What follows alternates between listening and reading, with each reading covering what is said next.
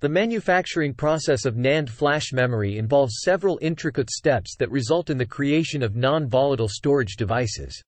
Here is a generalized overview of the NAND flash manufacturing process. 1. Wafer fabrication. The process begins with the production of silicon wafers through a method known as crystal growth. 2. Oxide layer formation. A thin layer of silicon dioxide is grown or deposited on the wafer surface. This oxide layer serves as an insulator. 3. Floating gate formation.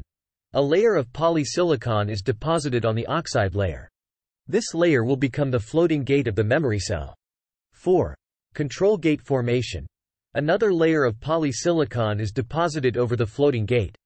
This second layer will become the control gate. 5. Insulating layer formation.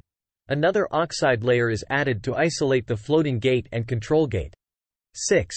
Channel formation. Doping is used to create a conductive channel between the source and drain regions in the semiconductor material.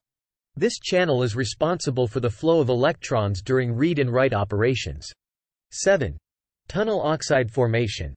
A thin oxide layer is added to enable the tunneling of electrons during programming and erasing. 8. Etching and patterning. Photolithography techniques are employed to transfer a pattern onto the wafer, defining the shapes and structures of the memory cells. 9. Doping for source and drain. The source and drain regions of the memory cells are created through doping. 10. Interlayer dielectric. A layer of insulating material is added between layers to prevent electrical interference. 11. Metal layers. Metal layers are added for interconnection, forming the necessary electrical pathways. 12. Encapsulation. The completed wafer is encapsulated in a protective layer to shield it from external factors.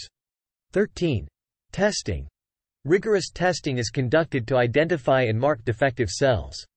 These tests include functionality, speed, and reliability assessments. 14. Packaging. The wafer is cut into individual memory chips, which are then packaged for integration into various devices. 15.